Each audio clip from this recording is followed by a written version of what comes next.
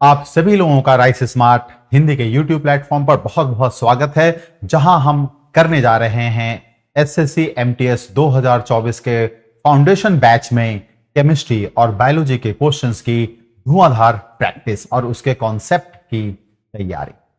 तो जल्दी से जल्दी इस वीडियो को अपने दोस्तों के साथ शेयर कीजिए, क्योंकि खुशियाँ और ज्ञान तो बांटने से बढ़ती उम्मीद है आप सभी लोगों की तैयारियाँ बहुत ही जोरों शोरों से चल रही होगी और काफ़ी अच्छी होगी।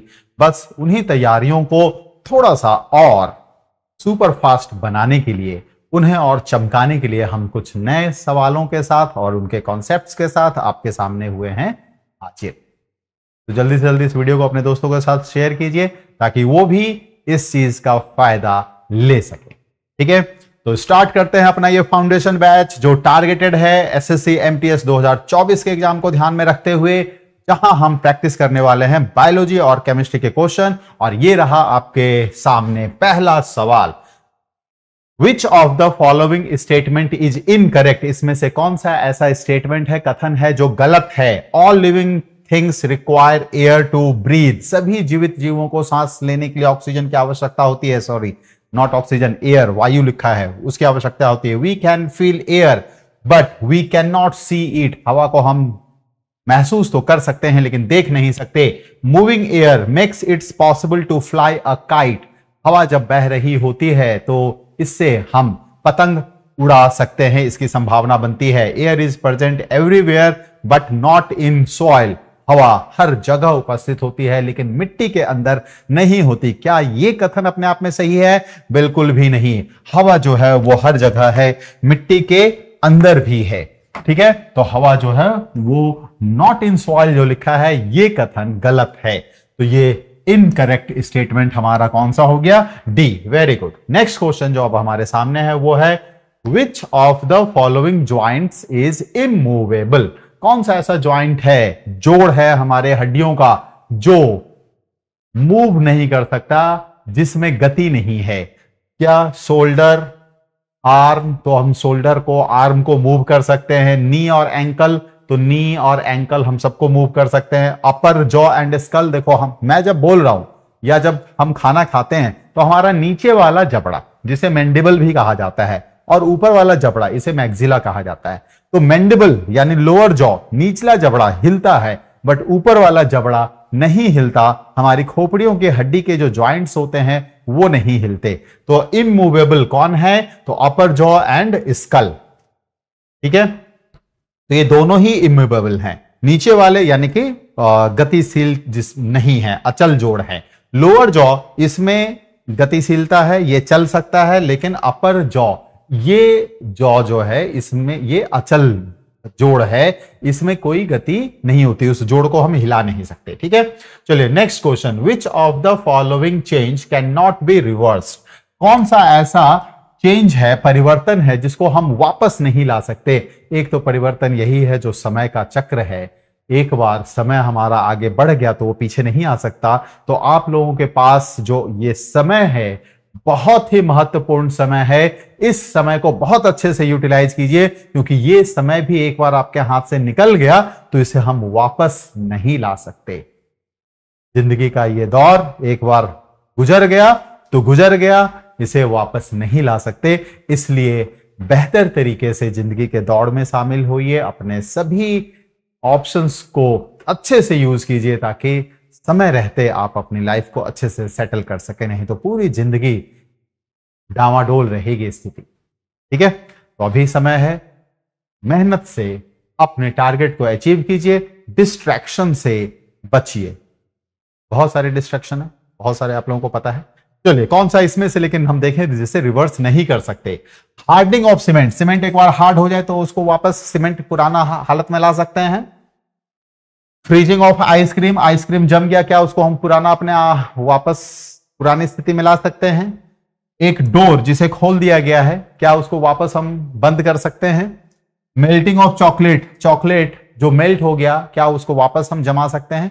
तो जी हाँ ये तीन चीज़ें वापस से हो सकती हैं, लेकिन जो हमारा सीमेंट हार्ड हो गया एक बार तो उसको वापस अपने पुराने फॉर्म में नहीं लाया जा सकता।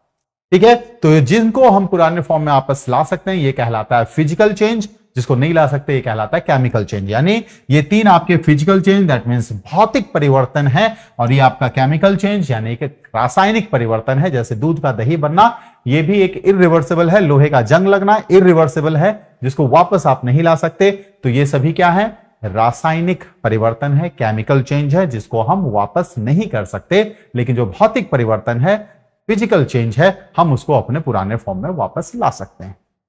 Which of the following is not a natural fibre इनमें से कौन सा ऐसा तंतु है, रेशा है, जो प्राकृतिक नहीं है, अप्राकृतिक है? कॉटन कपास, बिल्कुल, प्रकृति में बनता है।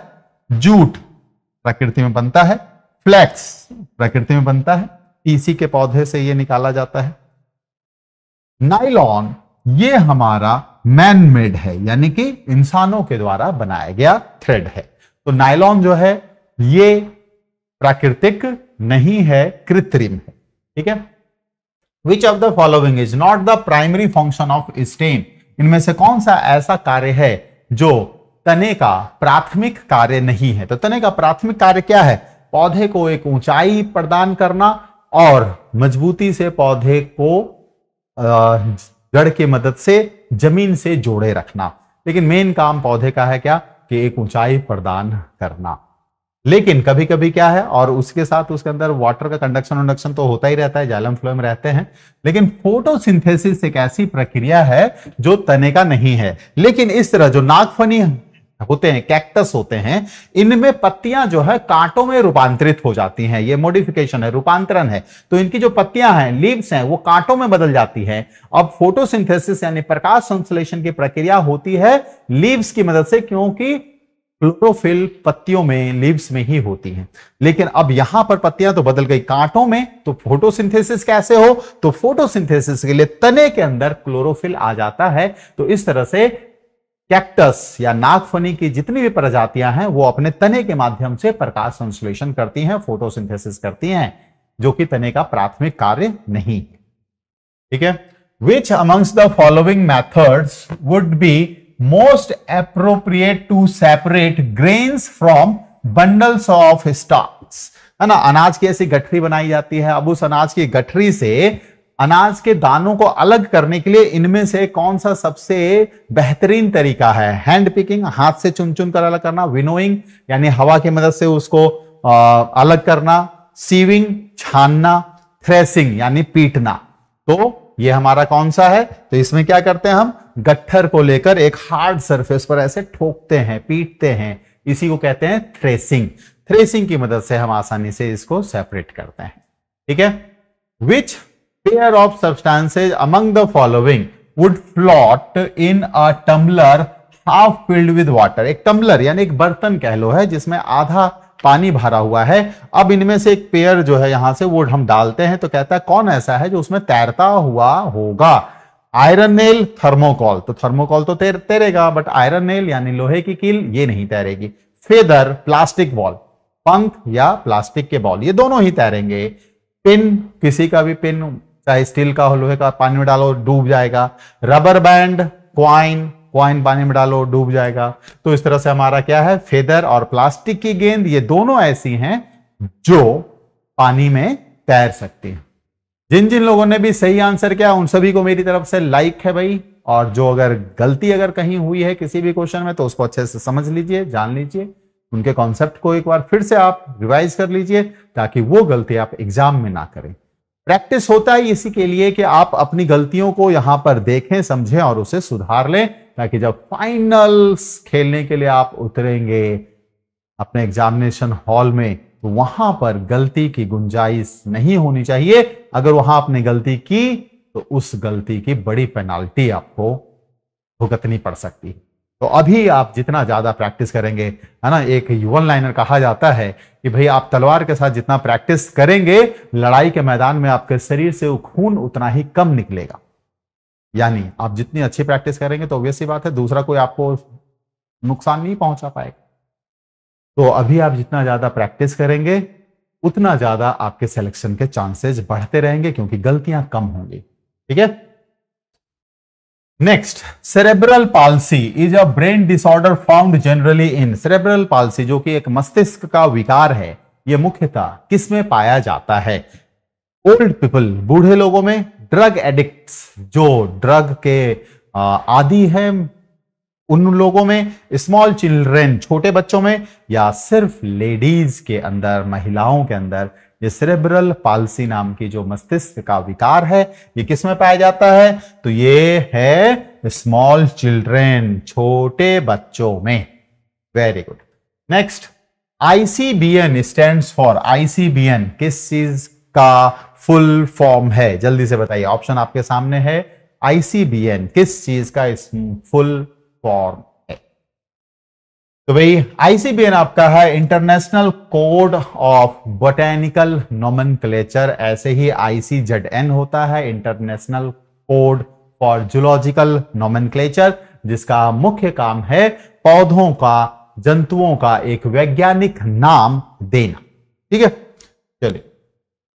The gas is commonly use in anaesthesia इनमें से कौन सा ऐसा गैस है जिसे एनेस्थीसिया यानी कि हमारे अंग को सुन्न करने के लिए या कह लो बेहोश करने के लिए दिया जाता है मीथेन, नाइट्रोस ऑक्साइड, नाइट्रोजन या हाइड्रोजन पैरोक्साइड। तो जब हमारे दांतों का इलाज किया जाता है तो दांतों के मसूड़ों में इस गैस को इंजेक्ट कर दिया जाता है, जिससे हमारा दांत वहाँ पर सुन्न हो जाता है। फिर अगर उसको उखाड़ा जाए तो हमें दर्द महसूस नहीं होता और वो है नाइट्रस ऑक्साइड। ठीक है? नाइट्रस ऑक्साइड इसे ही हम लाफिंग गैस के नाम से जानते हैं, है ना? नाइट्रस ऑक्साइड यानी कि हंसाने वाला गैस इस गैस को अगर आपने थोड़ा सा अमाउंट में सूंघा तो क्या होगा? हँसते हँसते पागल हो जाइएगा, पेट पकड़ के हँसते रहिएगा, ज़मीन पे लोट लोट के हंसीएगा, इतना ज़्यादा हँसी आएगी, बिना बात के हँसी आएगी, दुख वाले, गम वाले माहौल में भी आपको हँसी आएगी। Which gas is use in filling electric bulb बताइए। इलेक्ट्रिक बल्ब के अंदर कौन सा इनर्ट गैस भरा जाता है? क्या ये नियॉन है रेडॉन है आर्गन है क्रिप्टन है? कई बच्चों के दिमाग में आ रहा होगा हीलियम लेकिन यहाँ ऑप्शन में हीलियम है ही नहीं। तो अगर हीलियम नहीं होता तो फिर दूसरा कौन सा गैस ऐसा है जो यूज़ किया जाता है? तो यह है आपका आर्गन ठीक है? तो आर्गन को इलेक्ट्रिक बल्ब के अंदर फिल किया जाता है। Next earthworms breathe through their earthworm जो कि एक सदस्य है किसका? एनेलिडा। है ना? तो जब हम जंतु जगत का वर्गीकरण देखते हैं क्लासिफिकेशन ऑफ़ एनिमल्स देखते हैं तो ये देखते हैं कि इन वर्टिब्रेट्स यानी अकशेरुकियों के अंदर एक फाइलम है जिसका नाम है एनेलिडा उस एनेलिडा का सदस्य है अर्थवॉर्म जो सांस लेता है। किसकी मदद से? स्किन गिल्स लंग्स या स्टोमाटा त्वचा, गलफड़ा, फेफड़ा या रंध्र। किसकी मदद से सांस लेता है? तो इनमें विशेष कोई अंग नहीं होता सांस लेने के लिए, ये अपने त्वचा की मदद से सांस लेते हैं। ठीक है भाई तो अर्थवॉर्म कैसे सांस लेता है? अपनी त्वचा की मदद से। Next catch water where it falls is the basic idea behind है ना? कैच वाटर अभी भी रेनी सीज़न जस्ट निकला है। तो कहता है कि catch water where it falls यानी जहाँ पानी गिरे, वहीं उसे पकड़ लो। जहाँ पानी गिरे, वहीं पर उसे पकड़ लो। यानी रेन वाटर को वेस्ट मत करो रेन वाटर को हार्वेस्ट करो। ठीक है? तो ये किसका मदद इस पीछे का कॉन्सेप्ट क्या है? रिसाइकलिंग ऑफ़ वाटर वाटर को रिसाइकिल करना। Making dams to store water दुनिया का सबसे बड़ा डैम कौन सा है भाई? कमेंट करके बताइएगा। तब तक मैं अभी पढ़ा रहा हूँ। कुछ देर बाद आपको इसका आंसर दूँगा। दुनिया का सबसे बड़ा dam making dams to store water rain water harvesting condensation of water vapour तो अभी मैंने जब आपको समझाया तभी कहा कि catch water where it falls का कॉन्सेप्ट जो ये है कि do not waste water rather harvest water तो रेन वाटर हार्वेस्टिंग इसका हमारा सही आंसर है। तो बात हो रही थी डैम दुनिया के सबसे बड़े डैम ये आपका है थ्री बॉर्जेज डैम जो कहाँ पर है भाई? तो ये है चाइना में, है ना? वैन कब बना? 2012 में। जब 2012 में आ रहा था, उस समय बात कि दुनिया खत्म होने को है मूवी बना दी गई 2012 लेकिन 2012 में इसने दुनिया की ये सबसे बड़ी डैम बनाकर चीन ने तैयार कर दी। लेकिन इसके लिए पर्यावरण को इन्वायरमेंट को बहुत नुकसान पहुँचाया गया, क्योंकि इसके लिए काफ़ी सारे जंगल काटे गए, जिससे बहुत सारे जंतु, बहुत सारे पक्षी बेघर हो गए उनका आवास छिन गया, उनके बहुत सारे, उनमें जंतुओं की, पक्षियों की जान भी गई।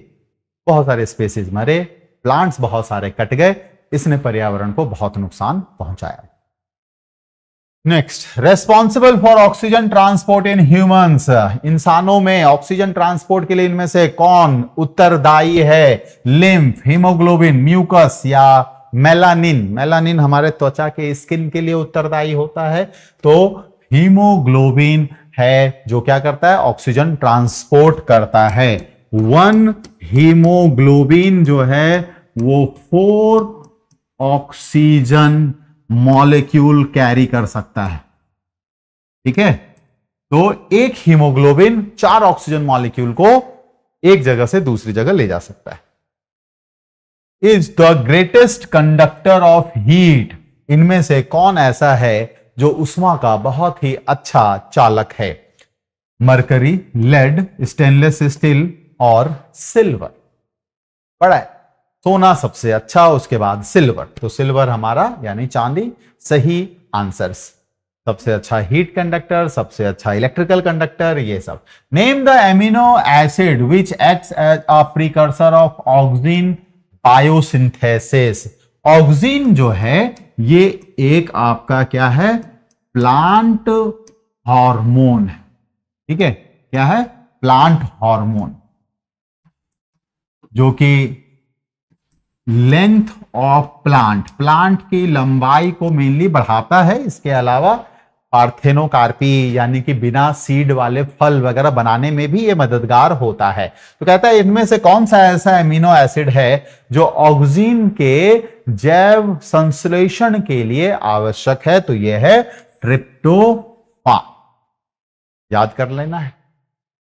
द स्लीप वेक साइकिल सोने और जागने का जो चक्र हमारे शरीर में है कि अब हमें नींद आ रही है, सोना चाहिए, अब नींद पूरी हो गई, अब जागना चाहिए। तो ये सोने और जागने का जो चक्र है हमारे शरीर में, वो किस हार्मोन के द्वारा रेगुलेट होता है?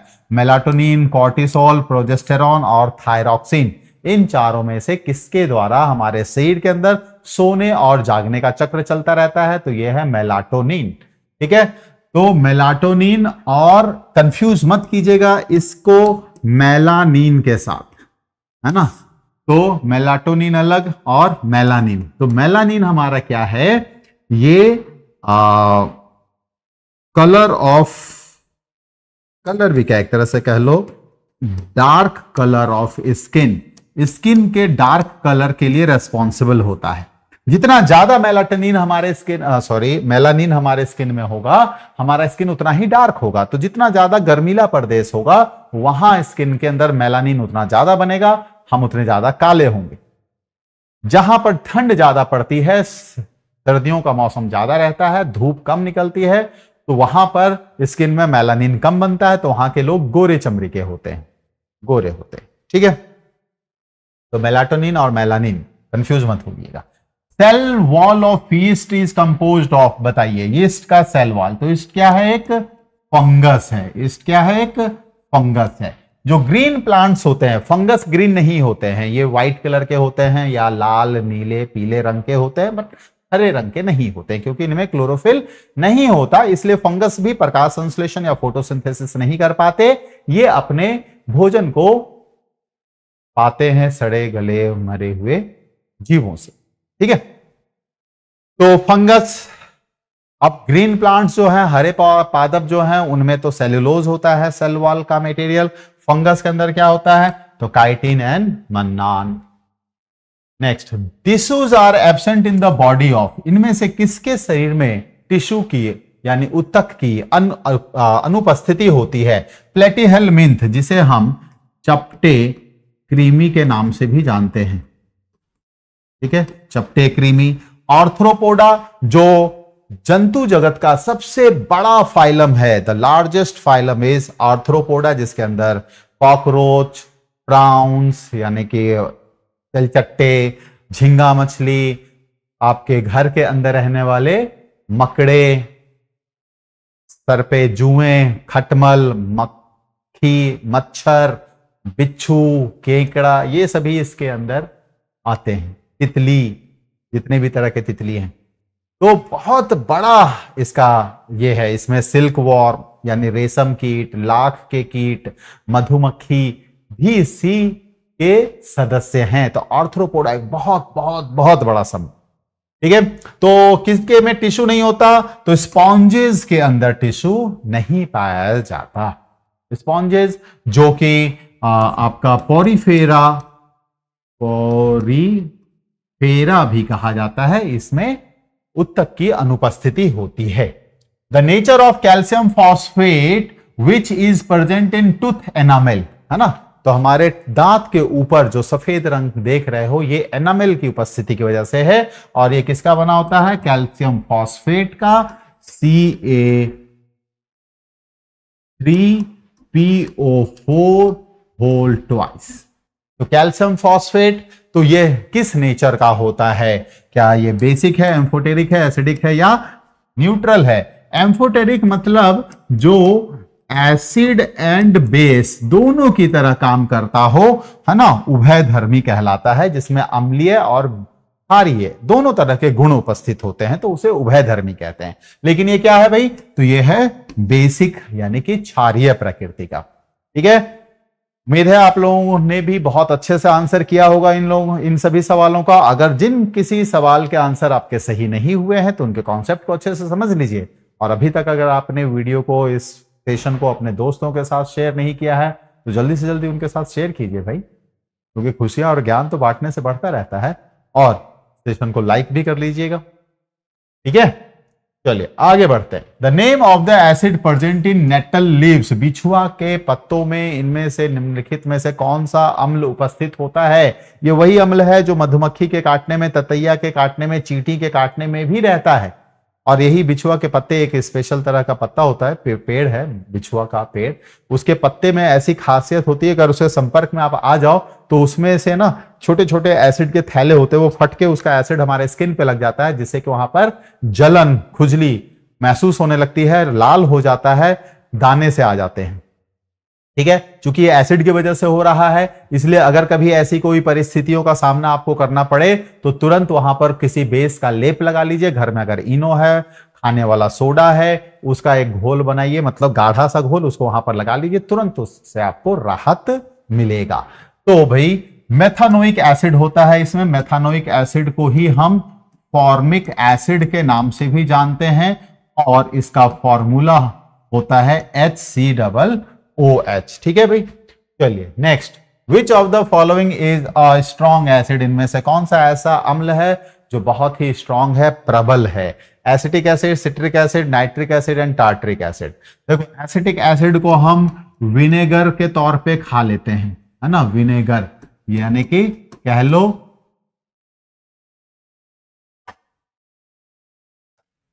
विनेगर जिसे हम क्या कह सकते हैं? सिरका। ठीक तो लिखा था भाई। क्यों काट दिया? चलिए, सिर का। तो हम आसानी से खाते हैं। अगर स्ट्रॉन्ग एसिड होता तो नहीं खा सकते थे। सिट्रिक एसिड जितने भी आपके सिट्रस फ्रूट्स हैं, है ना? नींबू है, संतरा है, कीनू है, इन सब में होता है। टार्ट्रिक एसिड टार्ट्रिक एसिड आपका टेमेरिंड यानी कि इमली में मेनली देखने को मिलता है। Nitric acid H N O three बहुत ही स्ट्रॉन्ग एसिड है। हम अगर इसके संपर्क में भी आ जाएँगे तो हमारा स्किन तुरंत जल जाएगा। ज़्यादा देर संपर्क में आ गए तो पूरी मांसपेशियाँ भी पिघला देगा ये। ठीक है भाई? Least distance of distinct vision एक हेल्दी ह्यूमन आई का, एक स्वस्थ मानव नेत्र का, जो न्यूनतम दूरी पर देखने की जो क्षमता है, वो कितनी होती है? स्पष्ट देखने की न्यूनतम दूरी कितनी होती भाई? 25 centimetre. Very good which one of the following human organs is less susceptible to harmful radiation यानी कहीं पर खतरनाक विकिरण फैला हुआ है हार्मफुल रेडिएशन है। तो हमारे शरीर का ऐसा कौन सा अंग है जो उस हार्मफुल रेडिएशन उस खतरनाक विकिरण से सबसे कम प्रभावित होगा? क्या वो आईज है हार्ट है ब्रेन है या कि लंग्स है? सही आंसर जल्दी से कीजिए। टाइम इज़ गोइंग अप तो ये हमारा है लंग्स यानी हमारे फेफड़े। जो हार्मफुल रेडिएशन से बहुत कम प्रभावित होते हैं। Petroleum is also known as petroleum को और किस नाम से जाना जाता है? भाई, इसे हम रॉक ऑयल भी कहते हैं, बिल्कुल सही। इसे हम मिनरल ऑयल के नाम से भी कहते हैं, इसे क्रूड ऑयल भी कहा जाता है, क्योंकि आप इसे डायरेक्टली यूज़ नहीं करते हैं यह अशुद्ध होता है जो पेट्रोलियम मिलता है।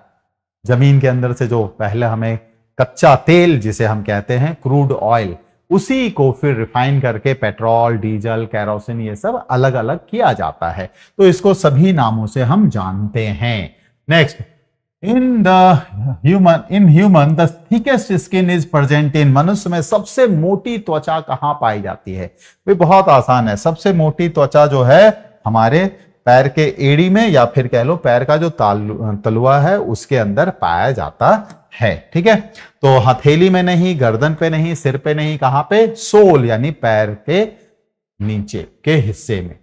Which of the following is not the vestigial human organ इनमें से कौन सा ऐसा ऑर्गन है जो अवशेषी अंग नहीं है मनुष्य के अंदर? अवशेषी अंग, यानी वेस्टिजियल ऑर्गन ऐसे ऑर्गन्स हैं, ऐसे अंग हैं हमारे शरीर के, जो हमारे शरीर में उपस्थित तो हैं, लेकिन अब उनका कोई कार्य नहीं है। बिना किसी काम के हमारे शरीर में उपस्थित है। ठीक है? तो इसे कहते हैं वेस्टिजियल ऑर्गन जैसे हमारे विस्डम टेथ हमारे कान को हिलाने वाला मसल्स हमारे अपेंडिक्स ऐसे बहुत सारे हैं ऑर्गन्स है जो हमारे शरीर में किसी काम का नहीं है।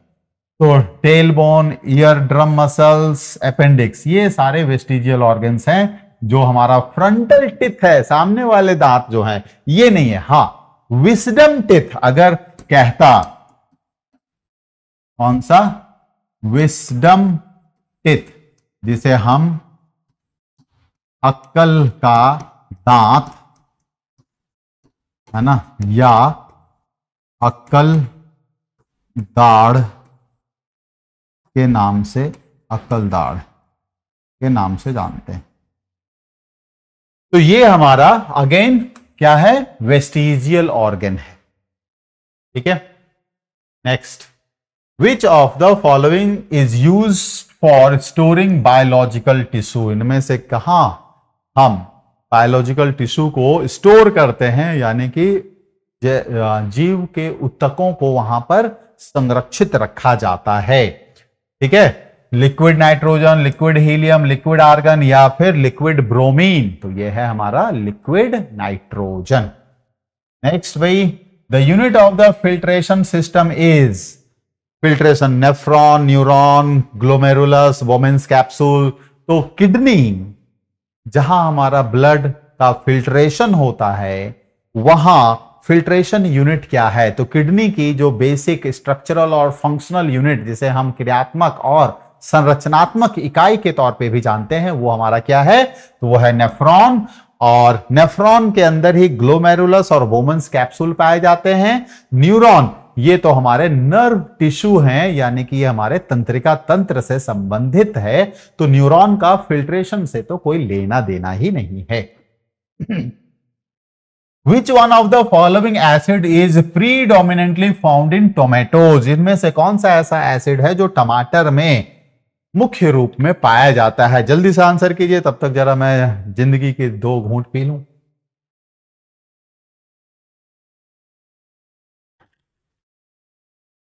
बताइए acetic acid tartaric acid oxalic acid या लैक्टिक एसिड इसमें टोमेटो में क्या पाया जाता है? तो यह है ऑक्जेलिक एसिड। है ना? कभी कभी आपको ये ऑक्जेलेट ऐसा लिखा हुआ भी मिल सकता है।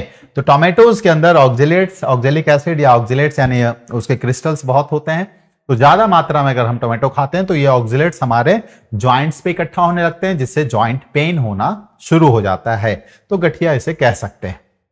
Which of the following endocrine gland is not found in pair in humans, यानी कौन सा ऐसा एंडोक्राइन ग्लैंड है इंसानों में जो जोड़े में नहीं होता?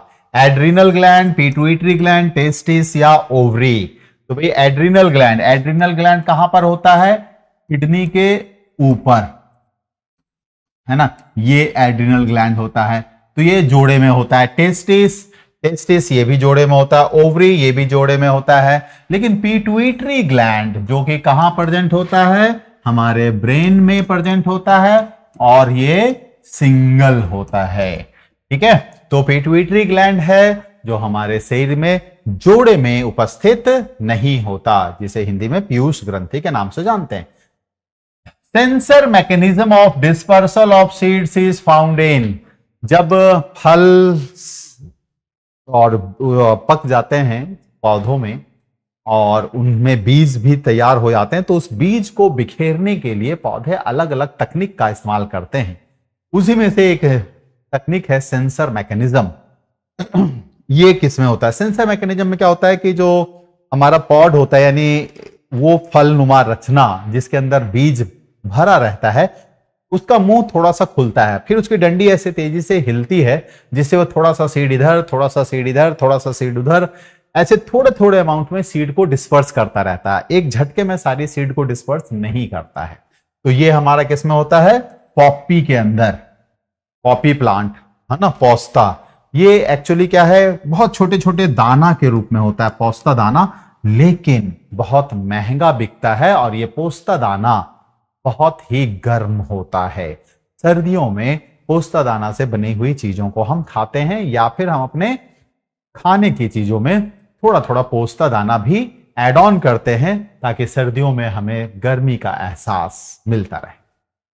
चलिए भाई नेक्स्ट हमारा है which of the following plants produce only seeds but no fruit इनमें से कौन सा ऐसा है जिसमें सिर्फ़ और सिर्फ़ बीज बनता है, लेकिन उनमें फ्रूट्स नहीं बनता? तो देखो सुगर केन पीनट ये आपका angiosperm angiospermic plants हैं। है ना? कौन से? आलमंड। ये भी एनजियो स्पर्मिक प्लांट्स हैं। एनजियो स्पर्मिक प्लांट्स उसको कहते हैं जिनमें क्या होता है? कि फ्रूट्स और फ्रूट्स के अंदर होते हैं सीड्स। ये दोनों चीज़ें होती हैं। लेकिन साइकस, ये एक जिम्नोस्पर्म है। ये क्या है? जिम्नोस्पर्म। इसमें क्या होता है? ओनली सीड नो फ्रूट बिना फल के ही इसमें बीज बन जाता है। तो साइकस, पाइनस, ये सब ऐसे, पाइनस को पाइन ट्री ऐसा भी लिखा हुआ मिल सकता है। ये सब ऐसे हैं जिनमें मतलब ये सभी जिम्नोस्पर्म के सदस्य हैं तो जिम्नोस्पर्म का कोई भी सदस्य ले लो, उसमें सीधा बीज बनता है, इसलिए उसे हम कहते हैं नेकेड सीड नग्न बीज, क्योंकि बीज के ऊपर फल के जैसा कोई आवरण प्रेजेंट नहीं होता है। Which of the following reaction is based on the activity series of metals metal की एक्टिविटी सीरीज़ पर कौन सा बेस्ड है?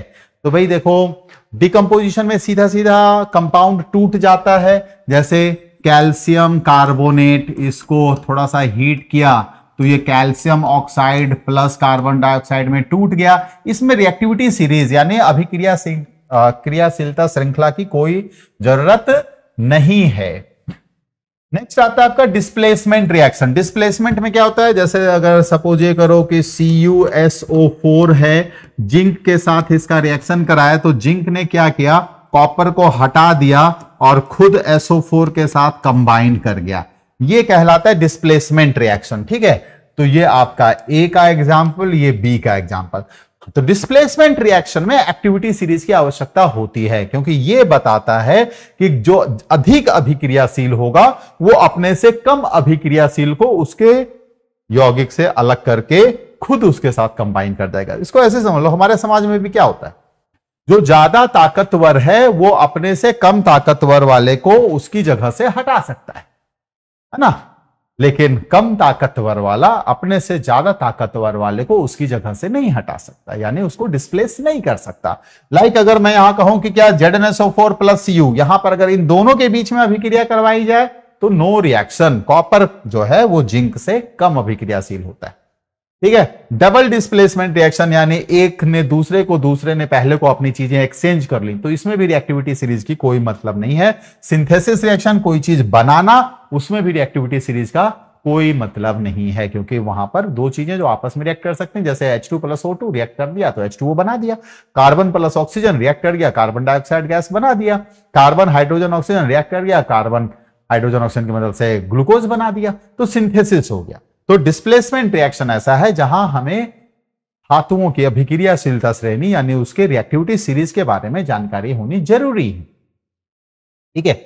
The chemical formula of baking soda baking soda यानी खाने वाला सोडा बेकिंग सोडा इसलिए कहते हैं क्योंकि ये क्या होता है? ब्रेड केक इन सभी को बनाने के लिए बेकिंग सोडा का उपयोग किया जाता है। तो बेकिंग सोडा का फॉर्मूला क्या है? जल्दी से बताएँ। Sodium carbonate, sodium hydrogen carbonate, calcium carbonate या सोडियम हाइड्रोक्साइड क्या है? यह आपका sodium carbonate, sodium hydrogen carbonate, ये हमारा बेकिंग सोडा का फॉर्मूला ठीक है? Next chalk and marbles are different forms of बताइए। चौक चौक वही जो मास्टर जी पहले ब्लैक बोर्ड पर चौक से लिखा करते थे व्हाइट वाले चौक से तो वही है। तो चौक और मार्बल किसके भिन्न रूप हैं? तो चौक और मार्बल जो हैं ये आप मार्बल जिसको आप हिंदी में आ, संग मर मर संग ही मर मर जाओ। तो संग संगमरमर ये सभी आपका है C A CO three calcium carbonate ठीक है? तो हमारा क्या है? कैल्शियम कार्बोनेट, जिसका फॉर्मूला क्या होता है? सी ए सीओ थ्री और हम इसे लाइन स्टोन, यानी कि चूना पत्थर के नाम से भी जानते हैं। Which of the following is a weak base इनमें से कौन सा ऐसा बेस है जो वीक है, यानी कि दुर्बल, क्षार है? एनओएच और के ये दोनों ही काफ़ी स्ट्रॉन्ग है है ना? तो स्ट्रॉन्ग ये हमारे स्ट्रॉन्ग है। याद रख लीजिए सोडियम हाइड्रोक्साइड पोटेशियम हाइड्रोक्साइड बस तो ये हमारा क्या हो गया? वीक अमोनियम हाइड्रोक्साइड NH4 है ना? तो NH4 को हम क्या कहते हैं? इसे हम अमोनियम के नाम से जानते हैं। किस नाम से जानते हैं भाई? अमोनियम के नाम से जानते हैं। तो अमोनियम और OH OH को हम क्या कहते हैं? तो OH को हम कहते हैं हाइड्रोक्साइड तो इस तरह से इसका नाम हो गया ammonium hydroxide next which of the following statement is true इनमें से कौन सा कथन सही है? Acids are bitter in taste नहीं भाई, ये अपोजिट हो जाएगा। सार आ जाएगा इसमें और बिटर आ जाएगा बेस में। यानी एसिड जो है स्वाद में खट्टा होता है बेस जो है स्वाद में कड़वा होता है। तो ये अपोजिट हो गया, है ना? ये कड़वा वाला यहाँ आना है और खट्टा वाला यहाँ आना है। तो दोनों ही कथन गलत हो गए इसका मतलब। Reaction between acid and base is exothermic reaction exothermic reaction यानी जहाँ पर क्या होती है? हीट इवॉल्व होती है। यानी कि उष्मा जो है वो निकलती है हीट इवॉल्व होती है तो उसी को हम क्या कहते हैं? एक्सोथर्मिक रिएक्शन कहते हैं। तो बिल्कुल सही, जब भी किसी एसिड को हम बेस के साथ रिएक्ट कराते हैं तो सॉल्ट प्लस वाटर और प्लस वहाँ पर निकलता है हीट तो ये हमारा correct statement next which of the following metal reacts with water और steam to produce oxide instead of hydroxide है ना? तो ऑक्साइड का मतलब कि मेटल ऑक्सीजन के साथ कंबाइन कर जाएगा हाइड्रोक्साइड अभी पीछे बताया, और हाइड्रोक्साइड का मतलब क्या हुआ? कि वो OH बनाएगा। तो सोडियम पोटेशियम कैल्शियम और मैग्नीशियम इनमें से कौन सा ऐसा मेटल है जिसे हम वाटर के साथ या स्टीम के साथ मतलब पानी को बहुत ज़्यादा गर्म कर दिया, उनके साथ रिएक्ट कराएँगे तो वो ऑक्साइड बना देता है, हाइड्रोक्साइड नहीं बनाता है तो यह है हमारा क्या? Magnesium. The acid present in the stomach हमारे और आपके स्टमक में जो एसिड उपस्थित होता है, वो क्या है? Sulphuric acid nitric acid hydrochloric acid या सल्फ्यूरस एसिड तो हमारे स्टमक में कौन सा है? तो हाइड्रोक्लोरिक एसिड और HNO3 प्लस HCl अगर इसको हम वन इज़ टू थ्री के रेशियो में मिक्स करते हैं तो इसे हम क्या कहते हैं? एक्वा रेजिया यानी हिंदी में अगर देखा जाए तो अम्ल राज, जो सभी अम्लों का राजा है, इसमें हर चीज़ गोल्ड प्लेटिनम सिल्वर जो अलग अलग इनमें से किसी भी एसिड के अंदर डिजोल्व नहीं होता, वो इन एक्वारेजिया यानी अम्ल राज के अंदर बहुत आसानी से डिजोल्व हो जाता है क्योंकि गोल्ड सिल्वर प्लेटिनम यानी चांदी, सोना प्लेटिनम इन सबों का काम कौन करता है? ज्वेलर सोनार इसलिए इसे हम ज्वेलर्स एसिड के तौर पर भी जानते हैं सुनार का अम्ल किसको एक्वारेजिया को, और ये क्या है? HNO3 और HCl का वन इज़ टू थ्री के रेशियो में एक मिक्सचर ठीक है? तो यहाँ पर हमारा ये सेशन खत्म होता है। उम्मीद है आप लोगों ने इस सेशन से बहुत कुछ नया सीखा होगा, जाना होगा, समझा होगा। तो जल्दी से कमेंट करके बता दीजिएगा और जाते जाते हमारे इस सेशन को लाइक कर दीजिएगा। नेक्स्ट टाइम हमारे सेशन में जुड़ने के बाद ज़रूर अपने दोस्तों के साथ भी शेयर करते रहिएगा। आप लोगों के उज्जवल भविष्य की कामना के साथ हमारी पूरी राइस स्मार्ट टीम फ़िलहाल अभी आपसे लेती है विदा। अगली क्लास में जल्द मुलाकात होगी। तब तक आप लोग स्वस्थ रहिए, मस्त रहिए और अपने अपने तैयारियों में व्यस्त रहिए। नमस्कार।